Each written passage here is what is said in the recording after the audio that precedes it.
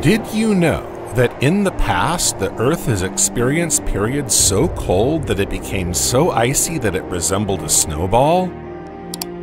While mankind has always had an image of a blue, hospitable Earth, it turns out that this wasn't always the case. Before plants and animals began to populate it, our planet experienced periods cold enough to see its surface completely covered in ice.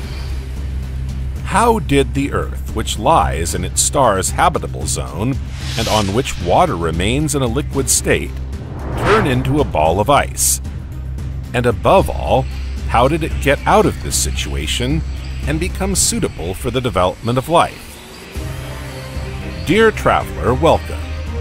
Today we're going back to the time of the superglaciations to discover these icy worlds